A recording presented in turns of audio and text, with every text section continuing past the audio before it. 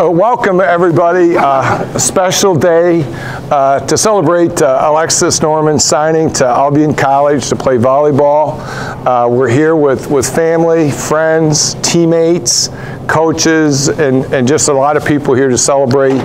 Uh, very special, a special event um, for us, one of our outstanding student athletes and she has a great opportunity to go on and continue her dream of playing volleyball and get a great education at uh, Albion College. So let's, uh, let's give it up.